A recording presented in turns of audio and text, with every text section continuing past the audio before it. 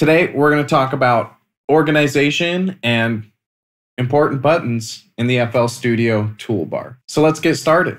Please like and subscribe. So first thing we're going to check out here is file, which save, export, all that good stuff. A notable option in here is our new from template section where we can actually make our own templates and change default templates. Video on that if you're interested. But this is an option in the file dropdown that I find to be one of the most useful and important. We also have recent projects and revert to last backup in case your project crashes. There's actually a section for backups over here in the browser.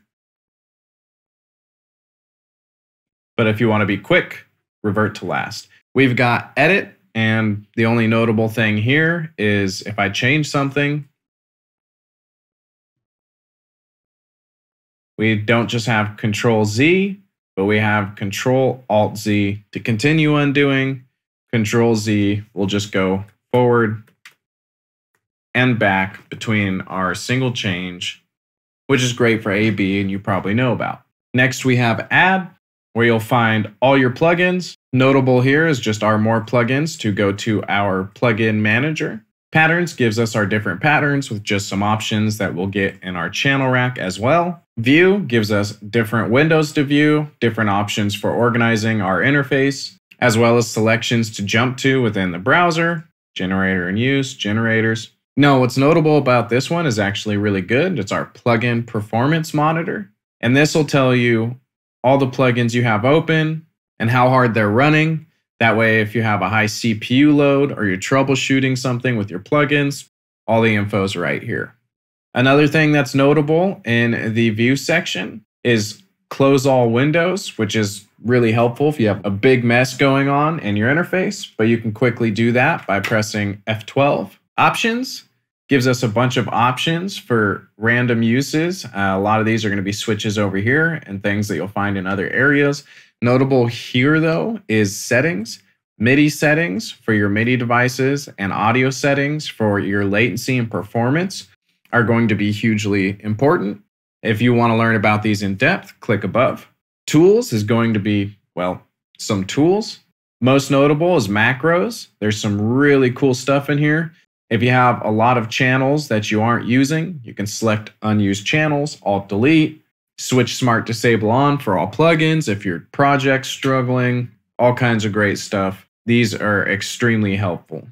We also have an option down here called last tweaked, which will show you the most recently changed value. Some plugins don't let you right click to link stuff to it.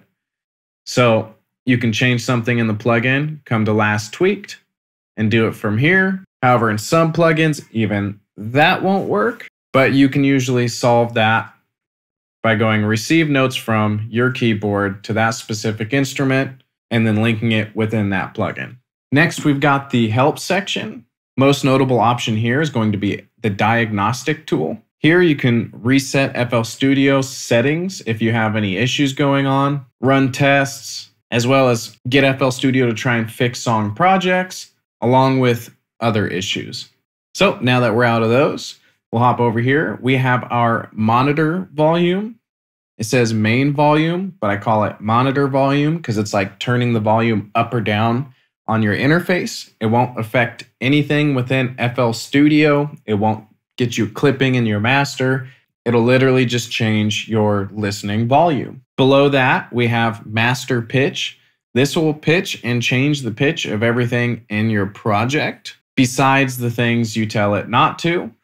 It is global, meaning it affects everything, but it is not the end all be all.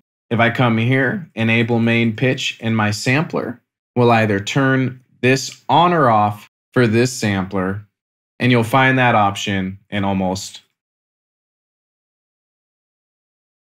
everything. This can also be automated for key changes within a song by right clicking create automation clip, which is pretty cool. If you're new to FL Studio, we got pattern song options for either playing in the channel rack or the playlist. We have our record button, which if you right click is going to give us some options. Anything checked here will either record or not record. Automation records the movements of knobs and sliders. Notes records notes that are being played via MIDI into your piano roll. Audio will be things like my voice into this microphone or a guitar or other instrument played into your interface. And clips will be playlist clips that are triggered when in performance mode. Options we've got recording starts playback. As soon as you click the record button, it's going to start playing for you to record. Disarm on stop, which means when you stop, then the master record, the arming button, will disengage, which will pretty much stop you from being able to do a second take until you re engage it. And we've got enable recording markers, which goes off of times like this, where you can choose the action to punch in on a recording, for example, and then add another one for punch out. And this will automate my recording on and off. So now my recording automated on right when it crosses the punch in marker. And then when it crosses punch out, it will stop. We also have quantize options. These quantize options will only work when your global snap here is set to something other than none, cell, or line. If you have it set to bar, beat, or any of these, it'll quantize things to the bar or the beat. So note to generally keep this off, or if you keep it on, be aware of how these might affect that. Record to step sequencer will quantize everything to be at one of these steps as what's considered a zero length note, which just is one of these. Next notable option is going to be our tap to tempo, which will set our tempo to whatever we're tapping or feeling it at. We have metronome on or off. We have wait for input to start playing, which will wait for input to start playing. So for example, if I click play, see it's got these dots. I clicked my MIDI keyboard, gave it input, now it's playing. 321 is our count in before we record. Those first notes.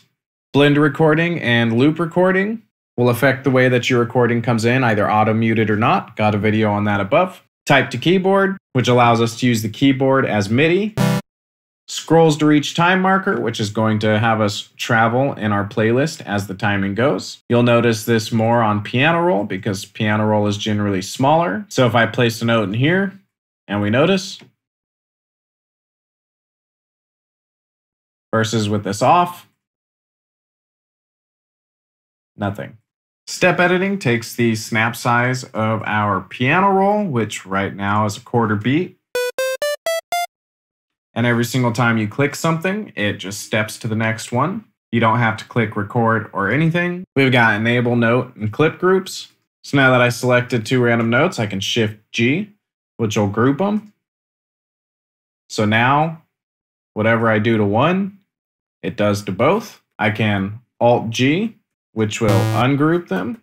If they are grouped, however, I can undo this, which will allow me to edit them separately, re-click it, and they are then again grouped. Multi-linked controller is pretty cool. If I click this, move a bunch of stuff, and then click it again, it's going to give me all these options to link my MIDI controller to.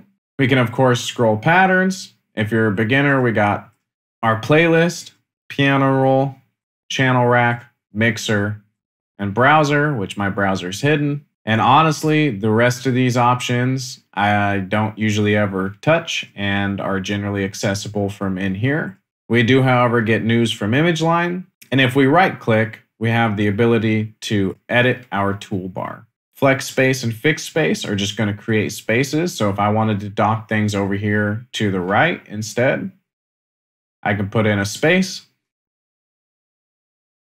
and we can customize this however we want.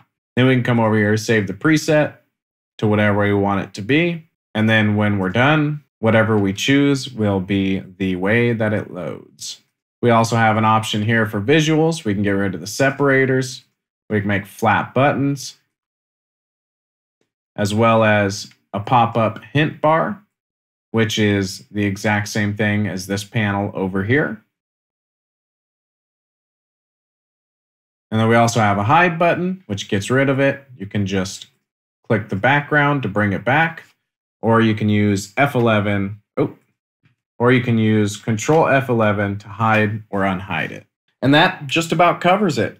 We went from left to right across the toolbar, discussing the things that are important or have features that you might be interested in. Of course, that's subjective from my perspective, but I really hope that this video was helpful. So if you like this video, please like this video. If you have any comments, please comment. I always appreciate a subscribe. It's Warren with Scale Audio. Adios.